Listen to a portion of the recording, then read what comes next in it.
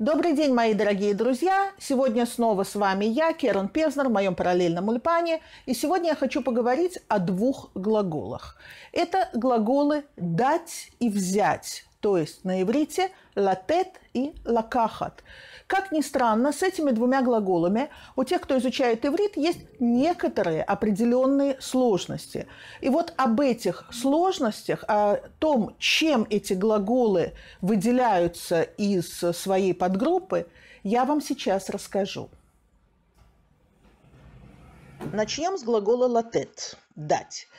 Если вы посмотрите на инфинитив глагола «латет», то вы увидите, что «ламет» – это инфинитивная приставка, «т» – мягкий знак, Тав – это окончание, показывающее, что пропала некая первая буква корня, но мы видим только одну букву корня, та в середине. И в основной форме натан.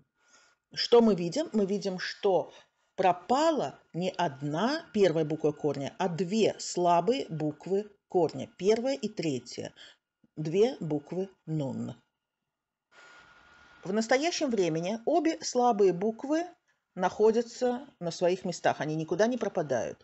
Итак, это нотен, нотенет, нотним, нотнот. Здесь этот глагол ведет себя как обычный глагол биньяна пааль прошедшем времени пропадает третья буква корня, это вторая слабая нунна. Они нататы, ата натата, ат натат, гу натан, ги натна, анахну натану. Обратите внимание на дагеш э, во второй букве нун. Это как бы удвоенная нун. Атем нататем, атен нататен, гем ген натну. Вот так спрягается глагол латет в прошедшем времени.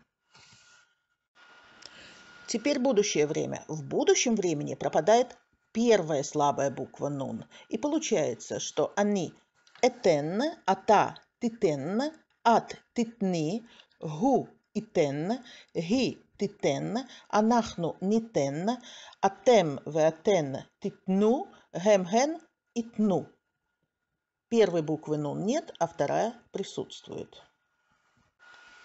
Для глагола «латет» – «дать» принято использовать повелительное наклонение или цивуй на иврите в разговорной речи. Обычно это считается не очень приличным.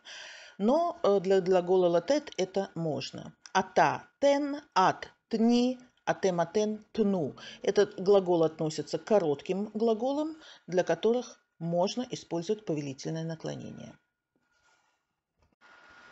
А теперь поговорим о глаголе «взять» – «лакахат». Этот глагол интересен тем, что в нем пропала первая не слабая, а сильная буква корня ламет. Ламет не относится к слабым буквам йона, это ют, ваф, нун, рей. Вот, но в этом глаголе она пропала. И когда мы смотрим на основную форму лаках, мы видим ламет, но это не тот ламет, который в инфинитиве. В инфинитиве ламет – это инфинитивная приставка. В настоящем времени следует обратить внимание на гортанную хет, третью букву корня. Поэтому глагол «взять» будет звучать следующим образом в настоящее времени. Локеах – локахат, локхим, локхот. В прошедшем времени никаких особенностей у этого глагола нет. Все очень просто. Они лакахти, ата лакахта, ат лакахт, гу лаках, ги лакха, анахну лакахну, атем лакахтем, атен лакахтен, вехем ген лакху. А вот в будущем времени точно так же, как в инфинитиве, сильная буква ламет пропадает. И поэтому глагол выглядит следующим образом. Они эках, ата тиках, ат тикхи, гу иках, ги тиках, анахну никах, атем, атен тикху, гемген якху.